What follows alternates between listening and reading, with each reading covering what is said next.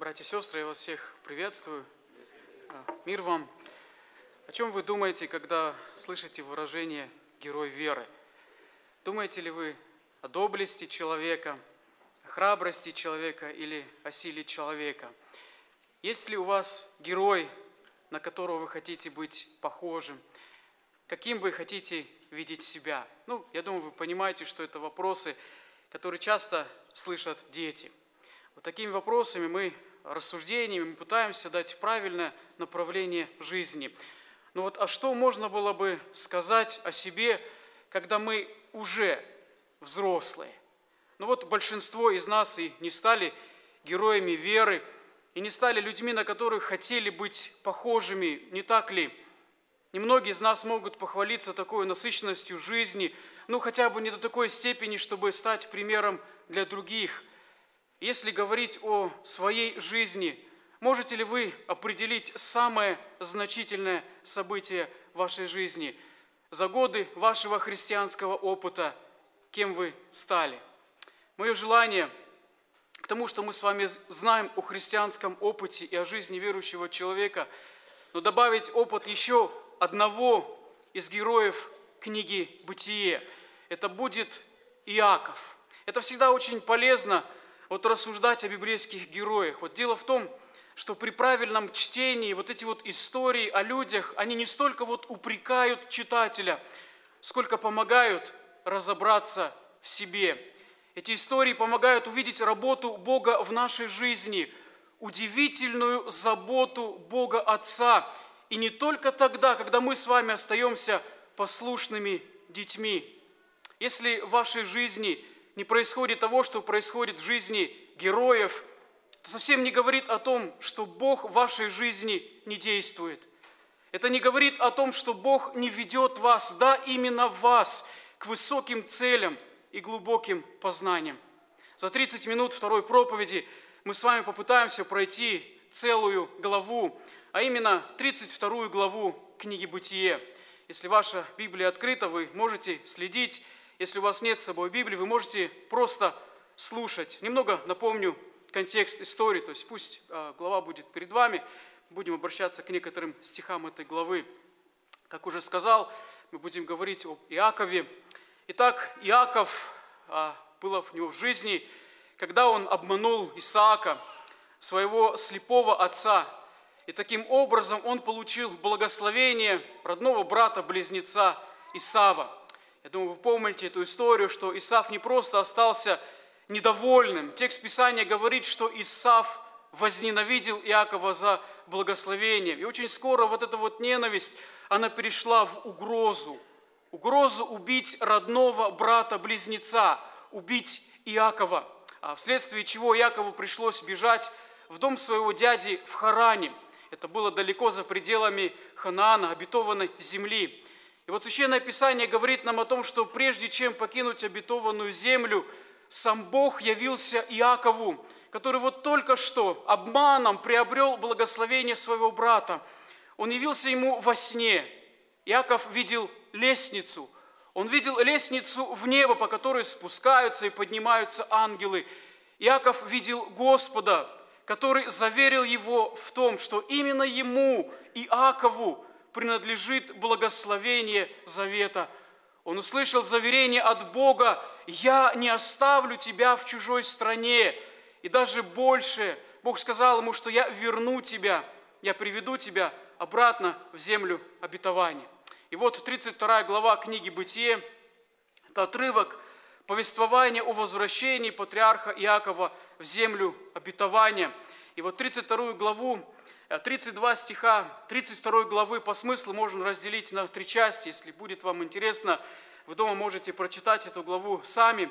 А первая часть – это самая большая часть этой главы, до 21 стиха. По смыслу это просто возвращение Иакова. А вторая часть с 22 до 30 стиха – это борьба Иакова с незнакомцем. И последняя часть самая короткая. А последние два стиха этой главы – это хромота Иакова. То есть именно так мы с вами посмотрим на содержание этой главы. Итак, возвращение Иакова. Прошло 20 лет с того момента, когда Иаков в спешке покинул дом родителей Исаака и Ревеки. 20 лет назад он ушел как одинокий изгнанник. Теперь он возвращается очень богатым человеком. Кроме верблюдов, овец, коз, коров, у Якова есть замечательная семья. У него по обычаю того времени две жены, 11 сыновей и одна дочь. Бог, несомненно, благословил Иакова. И вот только Яков теперь понимал, что благословение Бога – это не только имущество, которым он обладал. Вот этот человек понял, что благословение Бога больше, чем коровы, козы и овцы. Яков теперь хорошо знает, что вся его жизнь находится в руках Бога. Дело в том, что Лаван, его тесть, у которого он жил, неоднократно обманывал Иакова. Он менял его жен, он менял его зарплату, но несмотря на все хитрости Лавана, Иаков процветал. Процветал и Лаван благодаря работе Иакова. По мере того, как росли стада Иакова и Лавана, неизбежно приближался и конфликт между этими людьми. И когда отношения начали меняться к худшему, Господь и сказал Иакову вернуться на родину, вернуться в землю отцов. Ну, вернуться на родину – это всегда хорошо, не так ли? мы с вами когда-то покинули Родину, и, может быть, вы думаете, мечтаете еще, а, думаете о том, что такое Родина. Только вот возвращение на Родину для Якова означало самое большое испытание его жизни. Дело в том, что через 20 лет он приближался к местности, где живет Исав.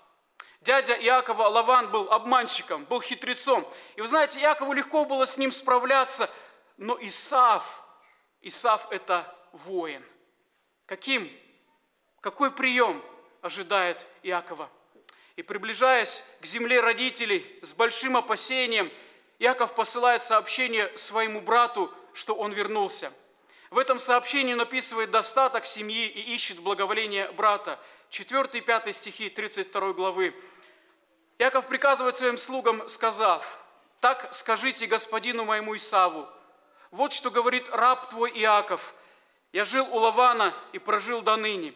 Есть у меня валы и ослы, и мелкий скот, и рабы, и рабыни. Я послал известить о себе господина моего, дабы приобрести благоволение пред очами твоими. Вестники возвращаются, и затаив дыхание, Иаков ждет ответа. От брата не пришло никакого сообщения.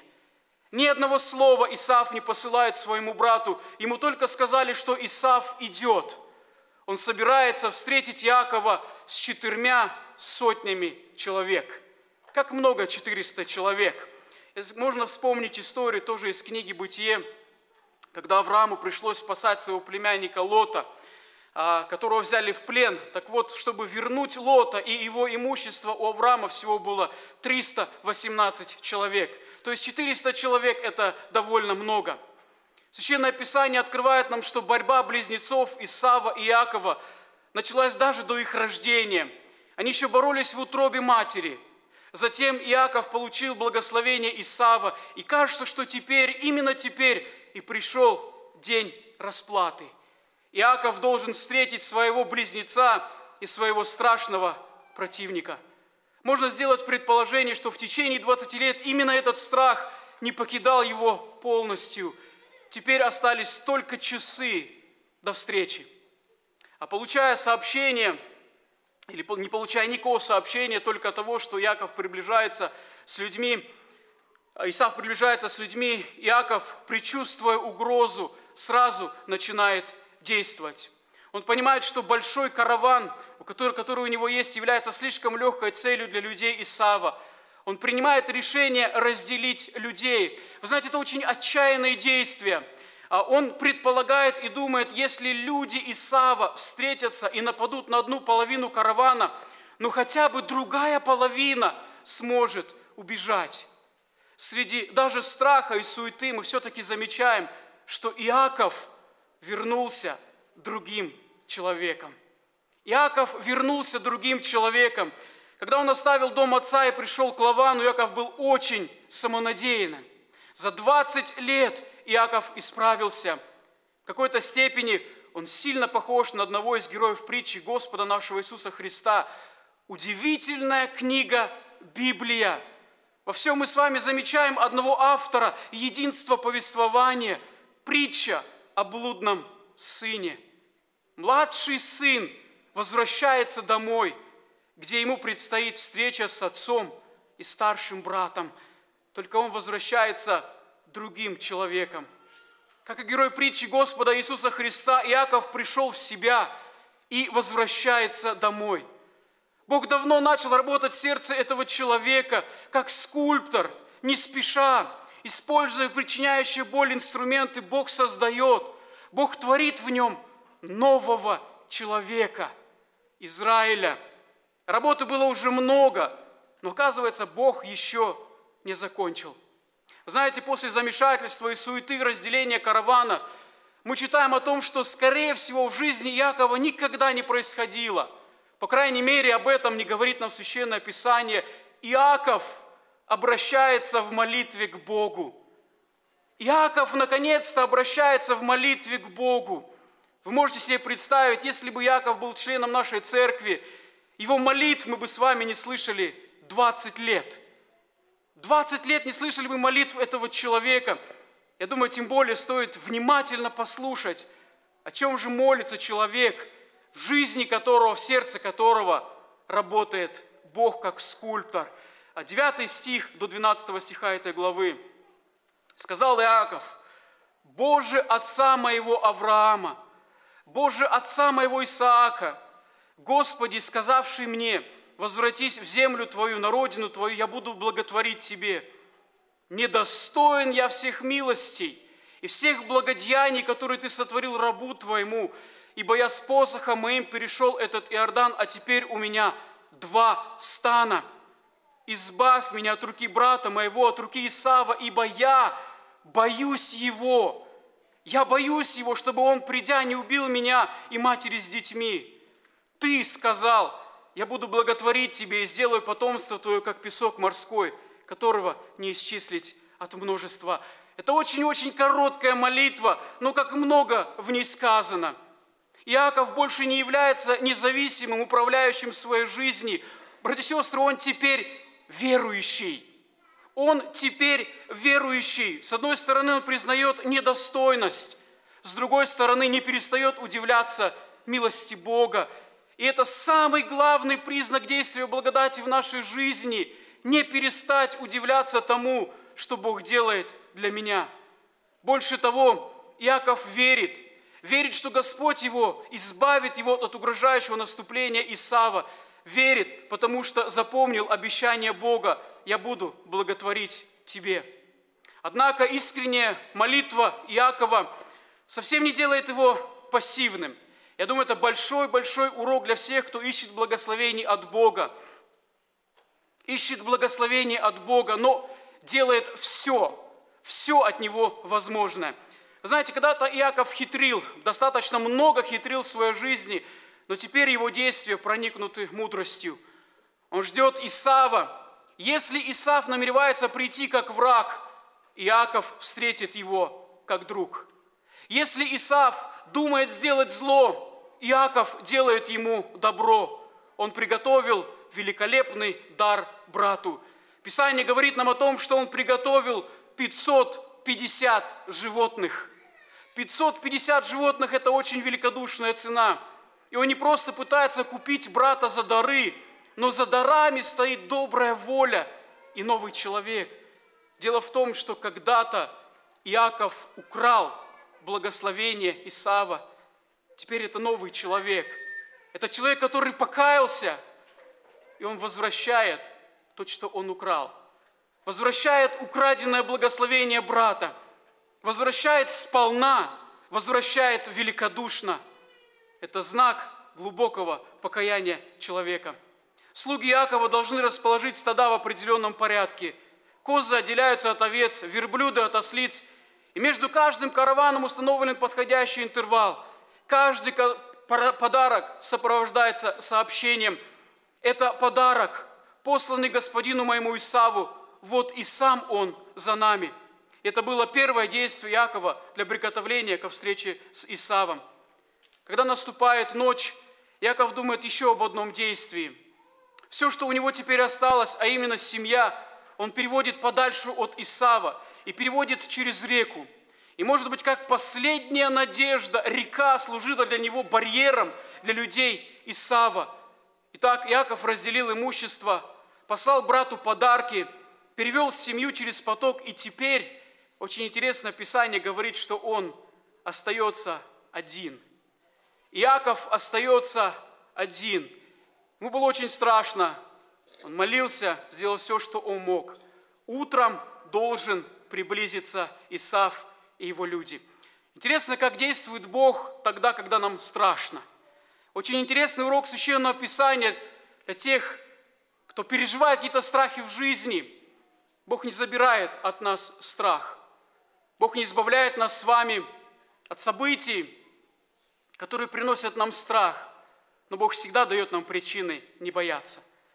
Бог всегда дает нам причины не бояться. Вы знаете, вот как только начинается эта глава, мы читаем, что когда Иаков шел путем своим, написано, что его встретили ангелы Божьи. Это самый первый стих этой главы. То есть только Иаков приблизился к земле, он получил заверение от Бога. А Псалом 90 еще не был написан, но в жизни Иакова уже исполнилось сказанное псалмопевцем, «Ибо ангелом своим заповедает о тебе, охранять тебя на, путь, на всех путях твоих, на руках понесут тебя, да не приткнешься о камень ногою твоею.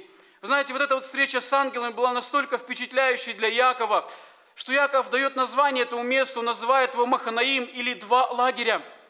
Это было обнадеживающее начало испытания. Его стан, его дети, его жены сопровождают ангелы. Этим самым Господь напомнил Иакову, что его возвращение не было чем-то самой собой разумеющимся. Дело в том, что Иаков вступал в землю – которую Господь приготовил для своего народа. Это была по-настоящему святая земля. И неудивительно, что именно эту землю должны были охранять группы ангелов. Итак, первая часть этой главы – это возвращение Иакова, а вторая часть – это борьба Иакова с незнакомцем. Он остается один после молитвы, тщательного планирования, один ночью. И в 24 стихе этой главы мы читаем – Остался Иаков один, и боролся некто с ним до появления зари. Согласитесь, очень странное повествование. Сегодня борьба – это вид спорта. Борьба – это схватка двоих людей, в которой каждый старается осилить другого. Но я думаю, это уж, уж очень необычное явление Бога. Текст дает нам понять, что иногда Бог действует совсем не так, как мы для себя представляем или думаем. Знаете, из Священного Писания мы с вами знаем, что Яков был очень сильным человеком. Он мог подойти к устью колодца и отодвинуть камень, который закрывал это устье. То есть это был очень сильный человек. Итак, борьба, в которой соперник Иакову не уступает, потому что это был очень необычный соперник. А в темные часы ночи эта борьба продолжалась до рассвета. Продолжалась до тех пор, пока необычный соперник Иакова – коснулся его бедра, после чего Яков остался хромым человеком. В течение этой борьбы мы замечаем, что Яков очень хорошо понял, кто с ним борется. Он разобрался в том, кто его соперник. Это был сам Бог, который пришел в виде ангела. Вы знаете, в Священном Писании есть комментарий этого события. Об этом комментирует пророк Осия. Так вот, в книге пророка Осии – в 12 главе, в 3-4 стихе записаны следующие слова. «Еще в очереве матери запинал он брата своего, а возмужав, боролся с Богом. Он боролся с ангелом и превозног, превозмог. Плакал и умолял его в Вифиле, он нашел нас и там говорил с нами. Для чего же пришел Бог таким образом к Иакову? Для чего нужна была эта странная схватка неравных сил – вы знаете, вот то, что Иаков остался один за потоком, уже говорило о многом. Не было никаких сомнений в том, что это другой человек. Часть своего имущества великодушно он отдал брату своему Исаву. Детей и жен перевел через поток. Что же еще нужно тебе, Боже? Что нужно тебе еще от Иакова? Почему ты приходишь как соперник, который борется с Иаковом? Что же еще не закончено осталось в жизни Иакова? Скорее, это самое драгоценное – Скорее всего, это именно сердце Иакова, что Яков еще не до конца понял. Именно поэтому Бог приходит к нему таким необычным образом, являет себя в борьбе или в схватке. Знаете, я думаю, если это, вот эта вот история совсем не покажет нам с вами странной, если мы немножко посмотрим на жизнь семьи, а, скорее всего, нет такого отца, у которого не было бы такой возможности играть со своими маленькими детьми. И, конечно, если это мальчишки, отец борется с детьми, то когда отец борется с детьми, он борется особенным образом, не так ли? Скажите, разве даже самый сильный отец не сможет сделать так, чтобы сын боролся с ним всю ночь? Разве даже самый сильный отец не сможет сделать так, чтобы сын боролся с ним всю ночь? Разве не знает отец, как схватиться с сыном, чтобы тот мог почувствовать силу отца и в то же самое время держаться отца до рассвета? Отец точно знает, как и где схватить своего сына. Отец точно знает, как сделать, чтобы сын остался победителем и в то же самое время остался побежденным.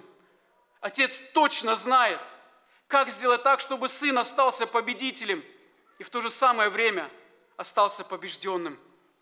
В своей удивительной милости Бог Отец делает это для Якова. Бог не пришел к нему как противник, пришел как Отец – это не была борьба на выживание, это был замечательный урок. Итак, борьба продолжается до рассвета, и мы читаем, боролся с ним некто до появления зари, и увидев, что не одолевает его, коснулся состава бедра его и повредил состав бедра у Якова, когда он боролся с ним. В самый разгар борьбы, прикосновением любящего отца, Бог касается бедра Иакова. О, сколько мудрости у нашего отца! прикосновение, которое принесло боль, вывих бедра. Следствие там вывиха было то, что теперь Иакову ничего не остается, как только еще крепче схватиться за соперника. Бог вывел его бедро, чтобы еще крепче Иаков мог схватиться за соперника. О, это именно то, что Бог хотел от Якова. Крепче схватиться, крепче держаться. И борьба продолжается до тех пор, пока Бог говорит Иакову, отпусти меня, отпусти меня. И в ответе Иакова сокрыты все поиски его жизни. 26 стих, не отпущу тебя. Он знает, кто с ним борется и просит, и говорит, не отпущу тебя, пока не благословишь меня. Удивительная просьба о благословении. Долгая ночная борьба, вывих бедра и, наконец, разговор – и, наконец, просьба «благослови меня». Вы знаете, с Священного Писания мы ясно узнаем, что благословляет всегда тот, кто больше. Благословляет всегда тот, кто больше. Иаков хорошо, безошибочно понял, кто его соперник. Это не были ангелы, это не был Исав, это был Бог. Но теперь мы должны спросить, Иаков, разве в твоей жизни мало благословений? Разве мало в твоей жизни благословений? Ведь ты сам сказал, у меня валы, ослы, мелкий скот, рабы и рабыни. Благословений было предостаточно. Точно так, как предостаточно благословений в нашей жизни. Но оказывается, оказывается, имея огромное количество благословений, мы можем упустить самое главное. Имея огромное количество благословений, мы можем упустить самое главное. Упустить не благословение – но благословляющего Бога. И сколько времени иногда проходит в нашей жизни до тех пор, пока мы не осознаем, что в действительности нужно от нас Богу. В ответ на просьбу о благословении Яков, Якова Бог не отвечает, а спрашивает его, как имя твое? Братья сестры, это очень интересно, когда Бог спрашивает человека. Он отвечает, Яков, меня зовут Яков. Так вот, в чем смысл борьбы, в чем смысл суть благословения. Тебя ведь зовут Иаков, и ты наконец-то это понял, ты наконец-то это признал. Имя, которое говорит о многом, вся твоя жизнь, все поступки сокрыты в этом имени. Ты Иаков. Вопросы к Богу. И дело не в том, что Богу нужна какая-то информация, а дело в том, что отвечая на вопрос, мы открываемся для Бога Отвечая на вопросы, мы открываемся для Бога. Есть еще одна не менее интересная, замечательная история, где Бог спрашивает человека об имени. Точно так, когда-то Господь Христос спрашивал человека из Гадаринской страны, бешеного человека, которого ковали цепями, ничего не могли сделать. После того, как Господь исцелил его, Он спросил его, как тебе имя? Все, что мог ответить этот человек, он сказал, я легион, я Яков, я грешник. Наконец-то Иаков произнес это. Я грешник. Неужели в этом простом признании был смысл жизни Иакова? Неужели в этом был смысл 20 лет странствования в чужой стране, чтобы в конце концов когда-то Богу признаться, меня зовут грешник? Братья и сестры, дорогие друзья, оказывается, от этого мы с вами можем убегать всю жизнь. Поврежденное бедро Иакова, все, что теперь он может, крепче держаться за Бога и, наконец-то, произнести «Я грешник». Именно к этому вел Иакова Бог 20 лет. И Бог ждет не просто признания, Он ждет нашего отчаянного страха. Бог ждет от нашего отчаянного страха остаться вне Его благословения. И это смысл и суть искренней веры. Бояться остаться вне благословений от Бога. Вы знаете, с тем, как выполняется наш христианский опыт, пополняется копилка наших дел. И чем больше у нас с вами заслуг, тем меньше нам нужен Бог. Скорее всего, помните, как апостол Павел боролся со своими заслугами. Вы помните борьбу в его жизни, как часто он боролся со своей праведностью и говорил, не хочу найтись в нем со своей праведностью. Я боюсь моей праведности, я хочу праведности Христа. С той праведностью, которую Бог дает нам по вере. Может, и в этом есть смысл настоящей веры. Страх остаться вне благословений Отца. Не отпущу тебя. Итак, возвращение Иакова, борьба Иакова и последнее – это хромота Иакова. А скорее всего, вам приходилось рассматривать картины, когда вот иногда, чтобы увидеть самое главное, нужно всмотреться в детали. Так вот, в 32 главе есть короткая деталь – который подводит, вот, мне кажется, итог всему происходящему. Давайте прочитаем эти стихи, последние два стиха 32 главы. «И взошло солнце, когда Яков проходил Пенуэл, хромал он на бедро свое.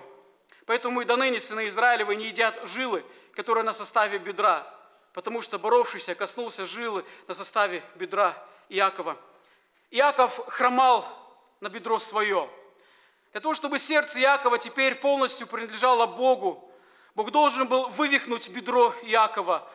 Вывих бедра, но исцеленное сердце, исцеление сердца. Скорее всего, это путь Бога каждому из нас. Лишить нас того, что делает нас уверенными в себе. Вывихнуть то, что делает нас сильными. Бог касается именно того, чего мы больше всего держимся в жизни. Это то, что происходит в жизни Якова. А давайте вот себе попробуем представить жизнь Иакова. А может быть, когда вот все прошло, первые вопросы детей. Папа, что случилось? Следующая глава говорит нам о встрече с Исавом. Очень интересное повествование. Иаков идет первым. Он идет первым, ему теперь не страшно. Не страшны люди, потому что Бога встретил лицом к лицу.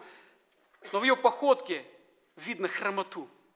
То есть на всю жизнь остался вот этот вот порог быть хромым человеком на всю жизнь. Или постоянное напоминание о том, что теперь вся моя зависимость от Бога. Вся моя зависимость теперь от Бога. Итак, люди видят хромоту Иакова. Этого теперь не скрыть. Интересно, а что люди видят в нас? Интересно, что люди видят в нас? Что люди видят в нас, когда встречают наши с вами взгляды? Так вот говорят, и, наверное, это действительно так, что глаза – это зеркало души. Много можно скрыть словами, за мимикой, но так тяжело человеку скрыть душу. И очень часто во взгляде человека можно увидеть душу. Что люди видят в нас, когда мы встречаемся с ними взглядами? Что видят люди в нас, когда они замечает наши жесты, когда мы что-то с вами говорим. Вы знаете, хромоту настоящую хромоту, вот хромоту Иакова, если это произошло в нашей жизни, должно быть заметно. Невозможно, чтобы такого переживания, такого опыта было незаметно. А, слышал одного проповедника, вот как-то комментируя эту историю, он ну, привел пример из своей жизни. Он говорит, что у меня есть очень хороший друг. И вот он говорил о встрече, которую они имели на э, Паркеладе церкви. Говорит, мы просто стояли, разговаривали, я обратился к своему другу, он говорит, очень близкие друзья. Я спросил его, в твоей жизни что-то произошло? Он говорит, да, произошло. И не произошла какая-то трагедия, а вот именно произошла встреча, как у Якова, этот человек хромал. Этот проповедник говорит, я заметил, я понял, что вот, вот такую хромоту невозможно скрыть. Невозможно скрыть такую встречу с Богом. Невозможно скрыть такие переживания, когда человеку ничего больше не остается, как только ухватиться за Бога. Такого человека легко заметить, такой человек располагает к себе и всегда вызывает доверие. Зашло солнце, когда он проходил Пенуэл и хромал на бедро свое. Это тоже очень интересно. Оказывается, солнце сияет над теми, кто хромает. Я думаю, нам всем стоит надеяться на такую встречу с Богом. Именно ради такой встречи стоит жить и ждать, а время обязательно придет. Бог коснется нашего бедра, и мы ухватимся за Бога так, как никогда раньше. Как никогда раньше мы произнесем слова молитвы и благодарности. Знаете, в жизни человека есть покаяние, первое покаяние, когда открывается для нас Царство Небесное. Но я думаю, все-таки Бог и верующего человека ведет дальше. Верующего человека Бог ведет дальше, к более глубокому пониманию познанию Бога – у Якова было именно это. Вы помните, когда-то Иов, вот прожил тяжелое испытание в своей жизни, но все же он понял и сказал, что когда-то, Бог, я тебе слышал слухом уха, а теперь я близко знаю тебя, а теперь мои глаза видят тебя. Братья и сестры, Господь вас, именно вас и меня ведет к этой встрече. Ради такой встречи стоит жить. И стоит ждать и надеяться, что придет это время, Бог коснется нашего бедра – мы ухватимся за него, как никогда раньше. Знаете, в свете того, что книга «Бытие» говорит о ночной борьбе Якова, мы теперь должны увидеть еще и другую ночь, и другую борьбу. Мы с вами должны увидеть Господа Иисуса Христа, который борется в агонии Гефсиманского сада. Не так ли сказано о нем, находясь в борении, молился? Находясь в борении Гефсиманского сада – в борьбе Голгофа Христос молился. Братья и сестры, Господи, мы понимаем, что Он не отступил, пока не получил благословение, но искал благословение не для себя, а для других. Не отпущу тебя, пока не благословишь других. Место, где проходила борьба Якова, получило название Пенуэл. Что значит, я видел Бога лицом к лицу. Я видел Бога лицом к лицу. Не может быть более близкого общения человеком с Богом. В темноте Голгофы Бог скрывает свое лицо от Христа, чтобы мы сегодня с вами могли увидеть Его славу. Видящий меня, видел Отца моего. Насколько силен нам с вами нужен сегодня Господь. Может быть, мы без Него сегодня легко справляемся. Насколько отчаянна наша вера и наша просьба. Не отпущу Тебя. Аминь. Я приглашаю вас к молитве, кое желание помолиться. Пожалуйста, помолитесь.